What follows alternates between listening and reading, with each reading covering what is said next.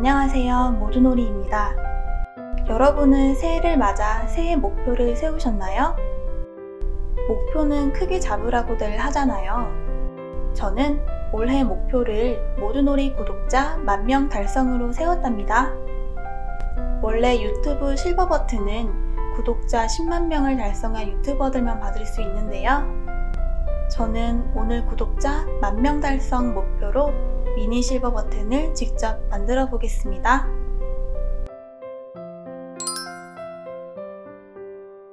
올해도 열심히 할 테니 지켜봐 주세요. 이때까지의 작품들은 3D 펜의 결을 살려서 만들어줬었다면 오늘 만들어줄 실버 버튼은 최대한 면을 평평하고 깔끔하게 만들어줄 거예요. 은색이랑 비슷한 회색 필라멘트를 이용해서 면을 만들어 줄게요. 저온 필라멘트는 굳을 때 수축하는 특징이 있어서 넓은 면을 만들어주고 자연스럽게 굳게 놔두면 말리는 현상이 생기는데요. 이런 현상이 나타나지 않게 하기 위해서 몇 가지 방법이 있어요. 첫 번째는 면을 다 만들고 나서 오븐에 살짝 넣어서 면을 매끄럽고 평평하게 만들어주는 방법. 두 번째는 면을 다 만들고 나서 다리미로 눌러주는 방법. 그리고 만들 때 말리지 않게 단단히 눌러 고정시켜주며 만드는 방법이에요. 저는 마지막 방법을 이용해서 만들어 볼게요. 도안 따라 필라멘트를 다 바르고 완전히 굳을 때까지 단단히 눌러 고정시켜 주세요.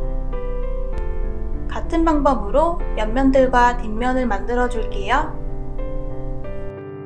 최대한 각지고 네모나게 만들어 줄 거라 면을 만들어 주고 나서 크기에 딱 맞춰 잘라 줄 거기 때문에 도안보다 작게 만들어 주기보다는 차라리 크게 만들어 주는 게 더 좋아요. 앞면에 유튜브 로고 모양으로 안쪽으로 쏙 들어가 있는데요. 입체적 느낌을 좀 더 주고 싶어서 앞면만 한 겹 더 발라줬어요. 지금까지는 이 필라멘트 결이 살아있는 부분을 겉으로 보이게 썼다면 오늘 만들 실버 버튼은 이 뒷면 매끈한 부분이 위로 오게 만들어 줄게요. 도안 크기에 딱 맞게 제작해 줄 거라 먼저 도안을 가위로 잘라주고 옆면과 뒷면, 앞면 모두 도안에 대고 크기에 맞게 펜으로 표시를 해줬어요.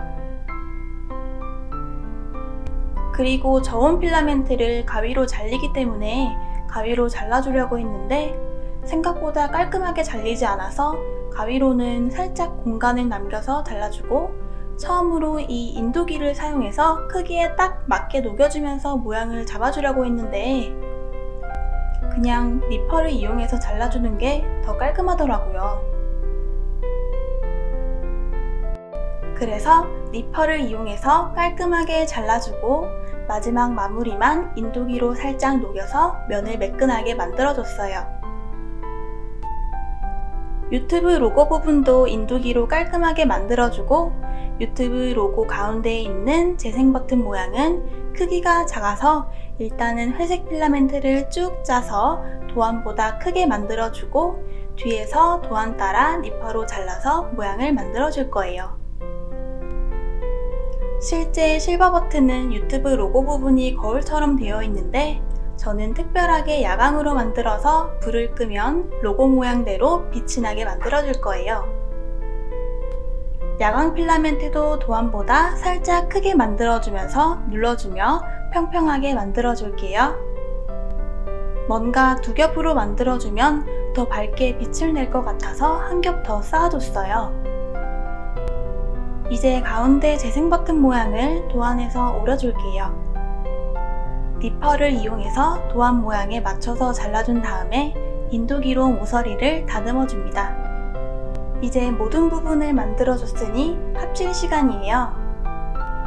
그런데 나름 실버 버튼인데 실버 같지가 않아서 방법을 생각하다가 은색 페인트 마카로 칠해주기로 했습니다.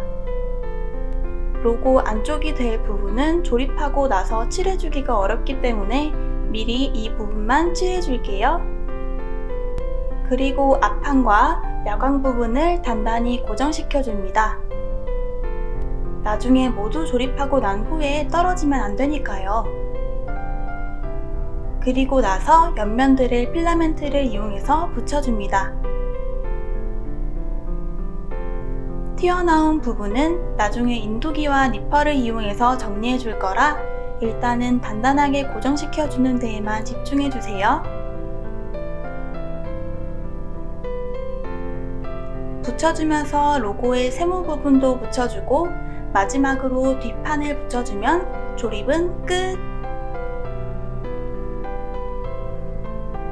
이제 인두기와 니퍼로 연결 부위를 최대한 매끈하고 각지게 만들어 줄게요. 매끈하게 이음새 부분을 다듬어 줬다면 마지막으로 니퍼로 튀어나온 부분을 깔끔하게 정리해 줍니다. 이제 전체적으로 은색 페인트 마카로 칠해줄게요. 유성이라 손에 묻으면 잘 안 지워지기 때문에 조심해서 칠해줘요. 칠한 자국이 남은 부분은 말려준 다음 위에 한 번 더 덧칠해줄게요. 이제 진짜 마지막!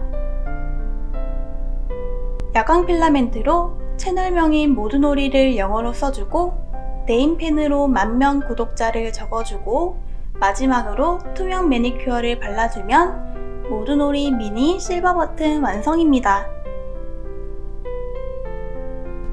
불을 끄면 이렇게 유튜브 로고 부분과 모두놀이 채널명이 빛이 나요.